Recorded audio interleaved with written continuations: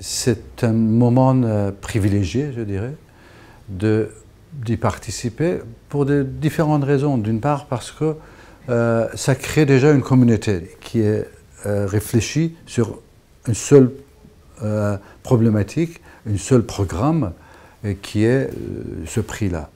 Nous, tous les membres de jury, nous avons la possibilité de réunir ensemble et réfléchir sur un thème. C'est déjà quelque chose d'important pour nous.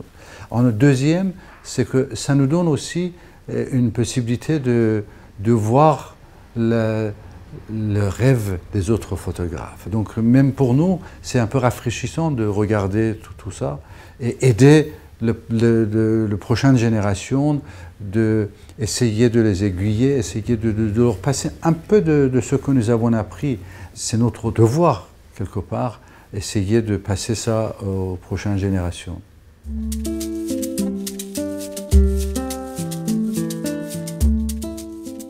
Il y a deux façons où je trouve mes sujets. Une première, ce sont euh, une région, quelque part, euh, une région du monde, enfin, qui est quand même assez vaste, qui est l'Asie, l'Afrique et euh, Moyen-Orient.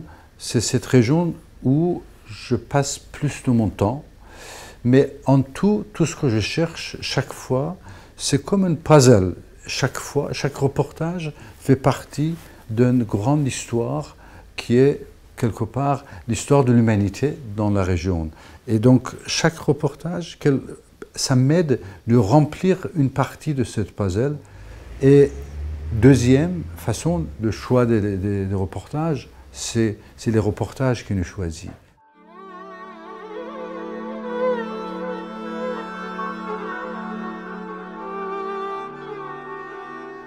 On n'est jamais observateur sans avoir une influence sur l'évolution de ce qui se passe. C'est impossible d'être observateur neutre, ça n'existe pas. Le, fait de même choisir de se mettre quelque part sur terrain, c'est déjà un choix qui influence le sujet. Certes, impartialité, c'est autre chose. Entre, il y a une différence entre impartialité et neutralité. Mais notre impartialité, il faut qu'il soit acquis dès le début. Euh, mais neutralité, c'est autre chose. Et comme je disais, non, on ne peut pas être neutre, observateur seulement, on influence, quoi qu'il soit.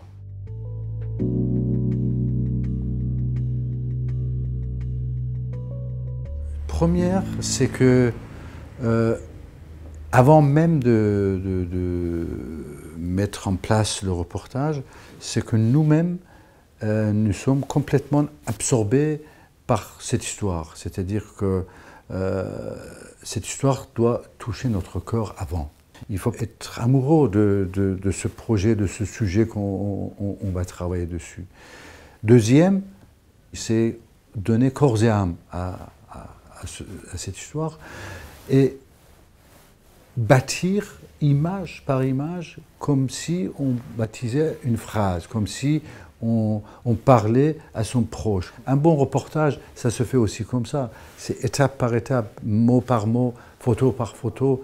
Mais avant tout, il faut que ça soit très compréhensible par nous-mêmes, que nous-mêmes, on soit convaincus de force de ce qu'on va faire, de l'histoire qu'on va raconter.